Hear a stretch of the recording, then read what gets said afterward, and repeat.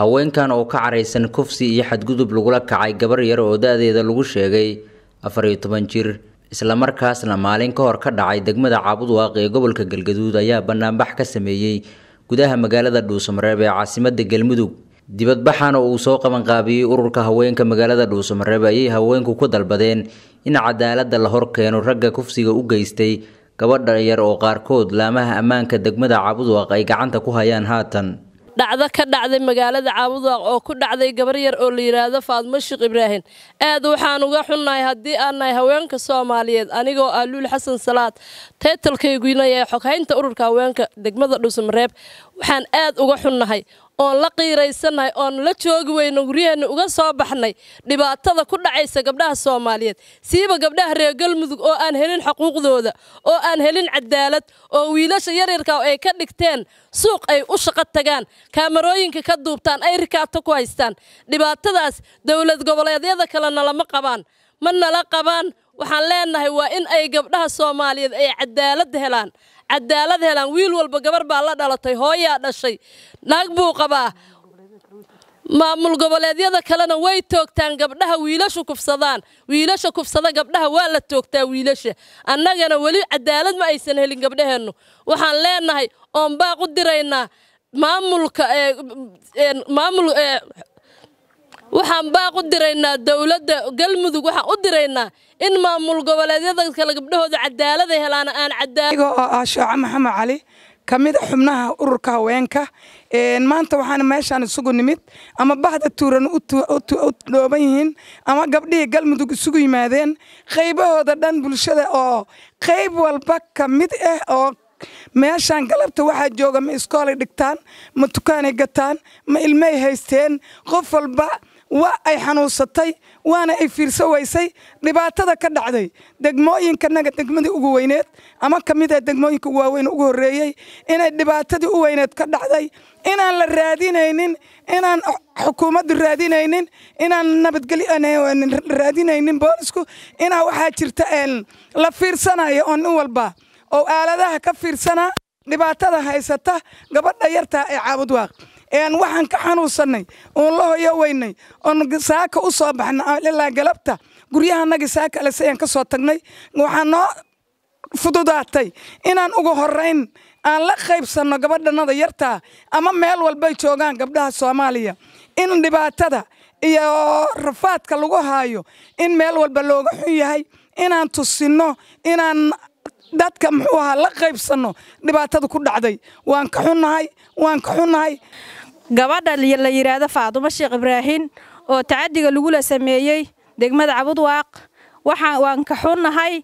aad iyo aad waxaan ka qiiraysannaha oo dhammaanteen gabdhaha ay isugu soo baxeen isugu soo wada bannaanbaxeen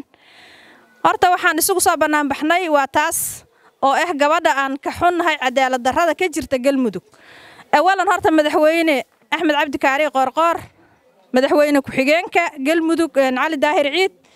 oo gaar ahaan deegaanka si toosa uga soo jeeda gudoomiyaha gudoomiyaha gudoomiyaha baarlamaanka maxamed nuur gacal bahda ugu sarraysa madaxda galmudug waxaan leenahay galmudug weli kama dhicin toogasho loo soo taagay tiirka gabar reer galmudug lagu faraxumeeyey hadda waxaan codsanaynaa in lagu sameeyo bahalkii wiilasha gabdhaha faraxumaynaya toog oo tiirka la soo taago ninkii xumeeya gabar oo gabar faraxumeeya oo tacadi u geysta kismaayo way ka dhacday kii waa ka dhacday iisheeg baalkii baydhabo deegaankeenna laga arkaa deegaan aan tiirka soo taagin oo hoos u xalliya wixii tacadiya oo gabdhaha loo geysto gabdhuhuna aad ayay ugu cadiban yihiin. Daa annagii soo korina naaskaa shalay nuugta aa maanta inta qaawisid duubaysid waxaa adkaysan karna waa adkaysane dumar kacay waa dalkoo kacay. Hadday af ahaa lahayd hadday adin ahaa lahayd maanta kadib waxaan diyaar u nahay inaan iska kiin difaacno. Waxaa diyaar u nahay inaan idinla dagaalanno. Caaisho mustaqbalkeeda iyo faadumo mustaqbalkeeda iyo aayatiinkeeda ku tumateen. Annaga waxaa leenahay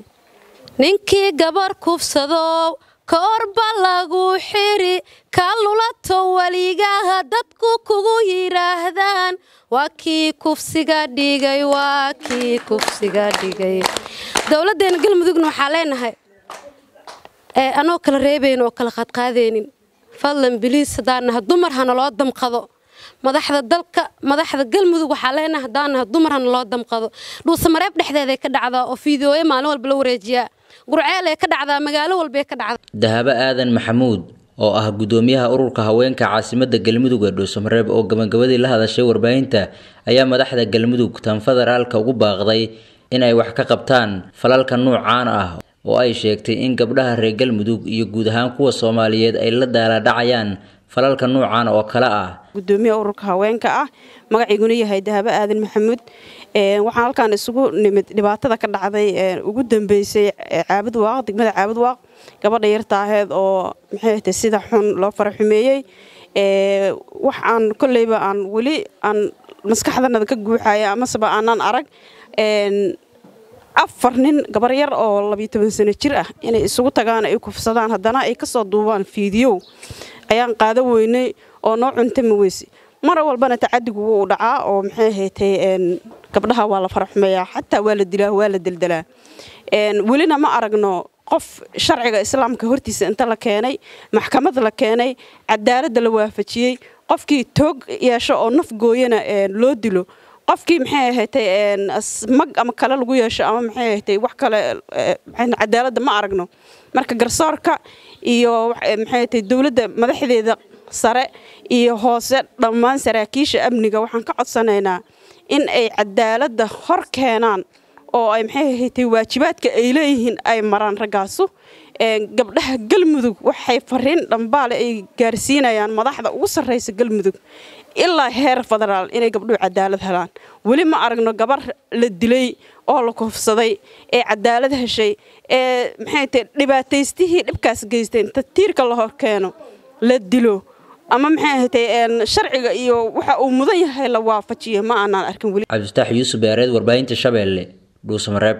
ka farxi ehelkaaga asxaabtaada iyo qaraabadaada. Oo la soo deg abka dahabshiil si aad si fudud lacag ugu dirto. Marka aad la soo degto ablicathonka dahabshiil ee aad lacag ka dirayso isticmaal koorka khadmad la'aanta ee tree free oo kuu sahlaya in saddexda jeer ee ugu horreeya ee aad lacag dirayso aan wax khadmad ah lagaa qaadin دهبشيل هەڵفودەی دی جمال دێت